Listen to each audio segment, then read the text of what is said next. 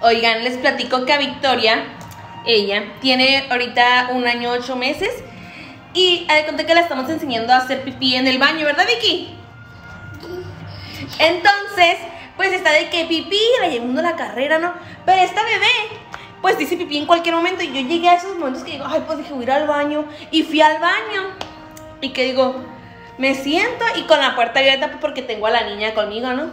Y que me siento yo a notas en cuanto me senté y estaba yo así, ah, a gusto, dice, pipí, y que, te- no, no, no, lo peor, tengo que cortar el chorro para que se sienta esta criatura, o sea, bajar la palanca y todo, y que sienta esta criatura, y que era puro pancho de ella, no estaba haciendo pipí, o sea, ella no estaba haciendo pipí, pero como yo me estaba haciendo pipí, o sea, yo me quedé así de, ¿qué, qué está pasando?